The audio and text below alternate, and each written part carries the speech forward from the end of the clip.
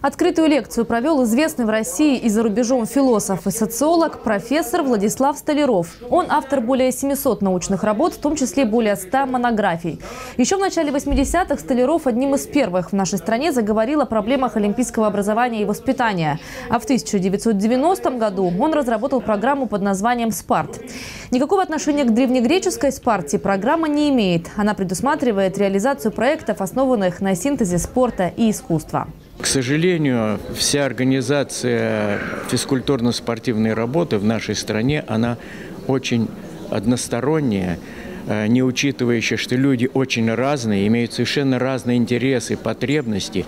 И вот э, первостепенные задачи, если мы хотим как-то вовлечь вообще-то их в занятия физкультурой и спортом, это именно сделать всю нашу работу многосторонней. Сегодня так называемое спартианское движение уже развивается в 20 регионах страны. А при Российском госуниверситете физкультуры и спорта, профессором которого Столяров является, даже создан спартианский гуманистический центр.